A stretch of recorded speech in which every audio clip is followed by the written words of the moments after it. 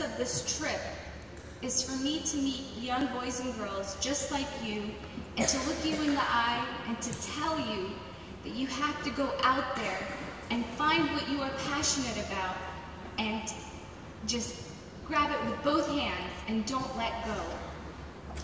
If a girl from Afghanistan who doesn't come from a lot of wealth, who grew up in a big family, uh, who English was my third language, I was not good in school, I can become a pilot and to fly around the world, believe me, your dreams are very, very possible.